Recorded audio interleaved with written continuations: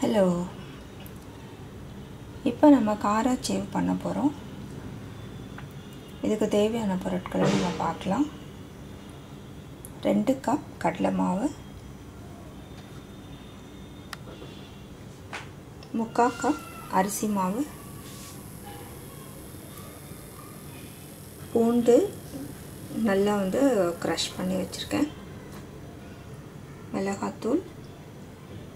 பெருங்காயத்தூள் தேவையான உப்பு பொரிக்க எண்ணெய். இப்போ இது வந்து பசைகிறதுக்கு தண்ணி. இப்போ நான் வந்து ப்ரெஷர் வச்சுருக்கேன். இதில் வந்து ஃபுல்லாக ஆயில் க்ரீஸ் பண்ணி வச்சுருக்கேன். இந்த ஹோல்ஸில் வந்து காராச்சேவ் பண்ண போகிறோம்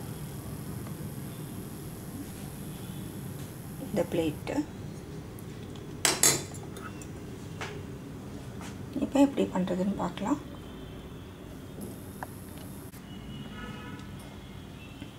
அரிசி மாவை ஆட் பண்ணிக்கலாம். பூண்டு ஆட் பண்ணிக்கலாம். இது வந்து நல்ல ஒரு வாசனை கொடுக்கும்.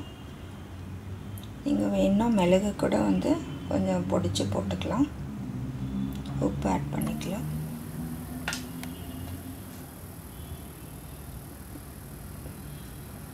காரத்துக்கு மிளகாத்தூள் வச்சுக்கலாம். கொஞ்சம் பெருங்க பெருங்காயத்தூள் வந்து போட்டுக்கலாம்.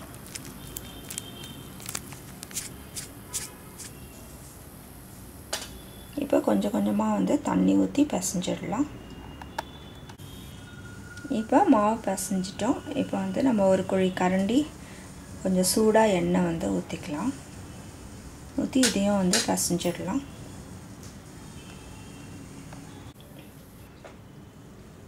இப்போ மாவு நல்லா ஒரு பத்து நிமிஷம் ஊறிடுச்சு.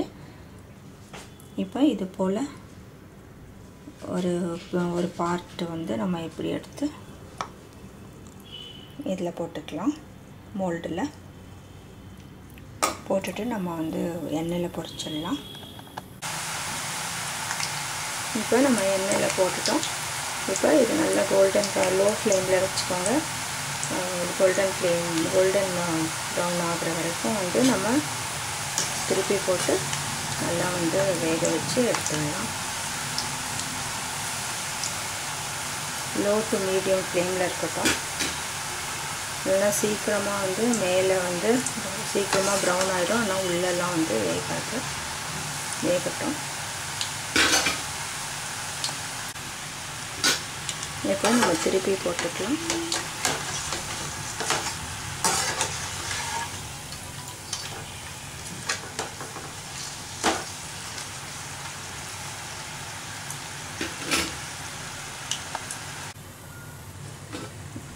இப்போ நல்லா வெந்துருச்சு. அந்த பபிள்ஸ் எல்லாம் வந்து அடங்கிடுச்சு பாருங்கள்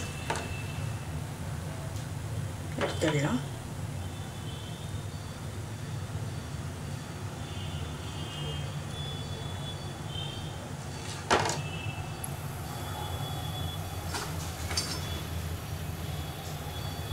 இதே போல் எல்லாம் செஞ்சு நம்ம ஃப்ரை பண்ணிடலாம்.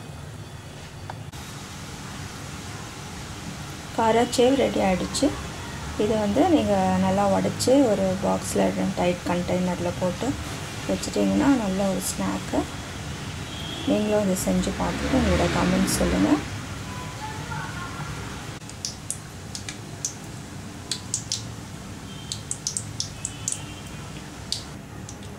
இது போல் உடச்சி ஒரு ஏர்டைட் கண்டெய்னரில் போட்டு வச்சுக்கோங்க.